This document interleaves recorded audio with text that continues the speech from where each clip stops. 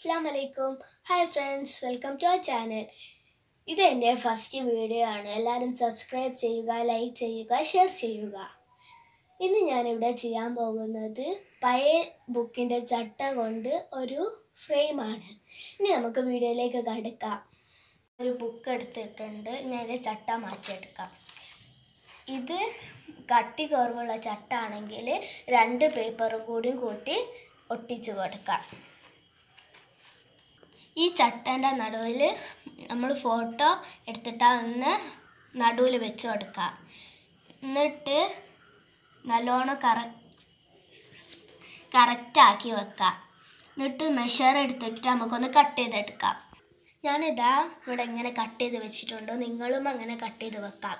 എന്നിട്ട് നമ്മൾ ഇതിൽ ഡെക്കറേഷൻ ചെയ്ത് കൊടുക്കാം. നിങ്ങളിൽ എന്താണോ ഡെക്കറേഷൻ ചെയ്യാനുള്ളത് അത് വെച്ച് നിങ്ങൾ ഡെക്കറേഷൻ ചെയ്യുക എന്റെ കുറച്ച് സ്റ്റാർസും ഗിൽറ്ററും ആണ് ഉള്ളത് ഞാൻ അത് വെച്ചാണ് ചെയ്യാൻ പോകുന്നത്. ഇതാ ഡിസൈൻ ചെയ്ത് കഴിഞ്ഞിട്ടുണ്ട്. ഇനി നമുക്ക് കുറച്ച് നേരത്തേക്ക് ഉണക്കാൻ വെക്കാം. ഇതിതാ നമ്മൾ ഉണങ്ങി കഴിഞ്ഞിട്ടുണ്ട്. ഇനി അടുത്തത് നമുക്ക് ഒ എച്ച് പി ഷീറ്റാണ് എടുക്കേണ്ടത്.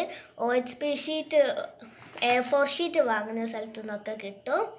ഇനി നമ്മൾക്ക് ഇത് കട്ട് ചെയ്ത് വെക്കാൽ കുറച്ചുകൂടി കട്ട് ചെയ്തെടുക്കാം.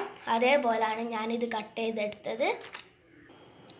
ഇത് നമ്മൾ ഒ എച്ച് പി ഷീറ്റും കൊണ്ട് ഒന്ന് ഒട്ടിച്ച് കൊടുക്കാം. ഞാൻ ഫെവിക്കോളോടാണ് ഒട്ടിച്ച് കൊടുക്കുന്നത്. അതായത് ഇവിടെ ഒട്ടിച്ച് കൊടുത്തിട്ടുണ്ട്. ഇനി അടുത്തത് വേണ്ടത് എ ഫോർ ഷീറ്റാണ് എ ഫോർ ഷീറ്റ് ഈ ചട്ടന്റെ അതേ അളവിലാണ് ആക്കി കൊടുക്ക കട്ട് ചെയ്ത് കൊടുക്കേണ്ടത്.